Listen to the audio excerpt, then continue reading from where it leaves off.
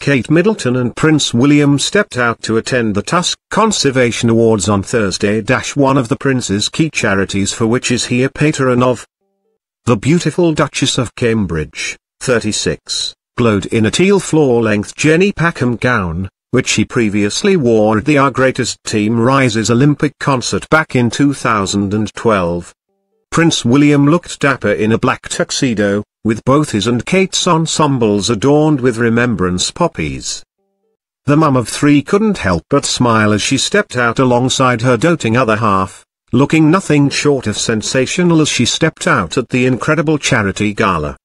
Top Stories 5 Secret Fashion Hacks Kate Middleton can't live without the maternity fashion hack Meghan is set to take from sister-in-law Kate. Kate Middleton's unusual poppy brooch has a very special meaning behind it. The Tusk Conservation Awards takes place at Banqueting House in London, where the couple enjoyed a reception to introduce themselves to nominees and supporters of the conservation charity. The ceremony itself celebrates those who work with wildlife and communities in Africa, who may otherwise go unnoticed in their fields.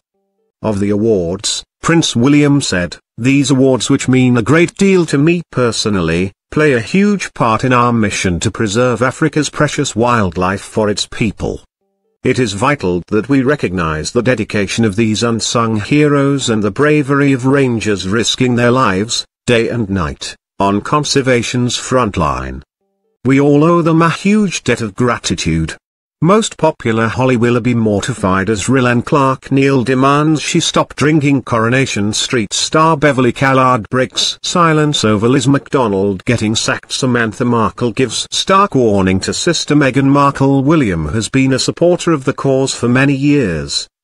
It's the first time that Kate has attended the awards for several years and became royal patron of Tusk in December 2005. The Duke, 36, has supported the charity's work both on a number of occasions. dash Recently taking a trip to Tusk projects in Namibia and Tanzania. I was staggered by the beauty and sheer remoteness of this incredible landscape, he said in Namibia. And I was humbled by the dedication of the rangers who protect the unique population of desert rhino from poachers.